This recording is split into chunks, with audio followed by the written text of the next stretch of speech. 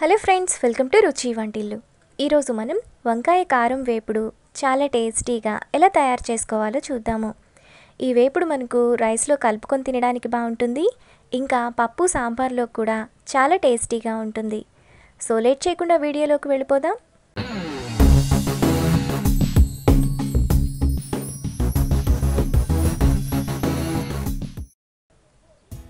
ముందుగా ప్యాన్లో రెండు టేబుల్ స్పూన్లు పల్లీలు వేసుకొని ఫ్రై చేసుకోవాలి.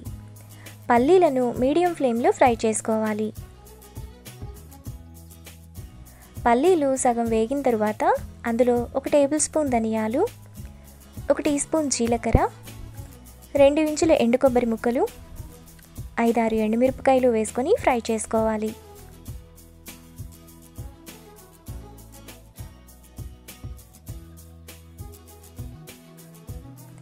దినుసులన్నీ వేగిన తర్వాత లాస్ట్లో ఒక టేబుల్ స్పూన్ నువ్వులు వేసుకొని ఫ్రై చేసుకోవాలి.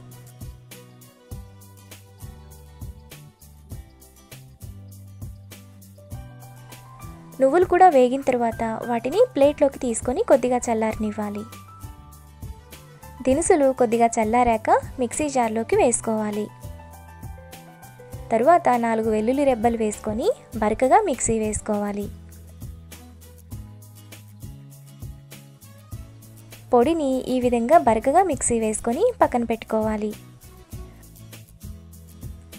తరువాత లోతుగా ఉండే బాండీలో వంకాయలు ఫ్రై చేసుకోవడానికి ఆయిల్ వేసుకోవాలి. ఆయిల్ వేడయ్యాక పావు కిలో వంకాయలను కడిగి ఇలా మధ్యలోకి కట్ చేసుకొని ఆయిల్లో వేసుకోవాలి. వంకాయలను మీడియం ఫ్లేమ్లో మెత్తగా అయ్యేంత వరకు ఫ్రై చేసుకోవాలి. మీరు ఏ రకం వంకాయనైనా తీసుకోవచ్చు.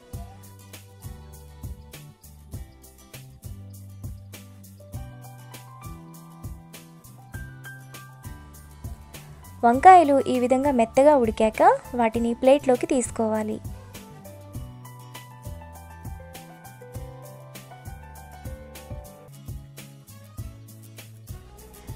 తరువాత ఈ ఆయిల్ని తీసేసి ఒక టేబుల్ స్పూన్ ఆయిల్ వరకు ఉంచాలి.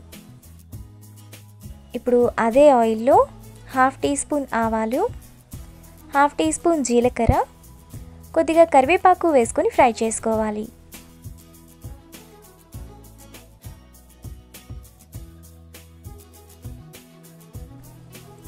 పోపు వేగిన తర్వాత ఫ్రై చేసుకున్న వంకాయలు మిక్సీ వేసుకున్న కారం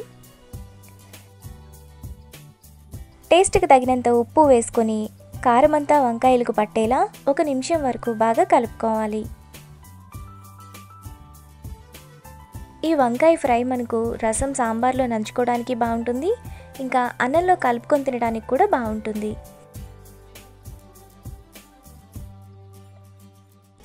మనకు వంకాయ కారం వేపుడు రెడీ అయిపోయింది.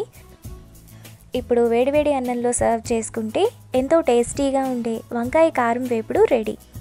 ఈ వీడియో మీకు నచ్చినట్లయితే లైక్ చేసి షేర్ చేసి సబ్స్క్రైబ్ చేయండి.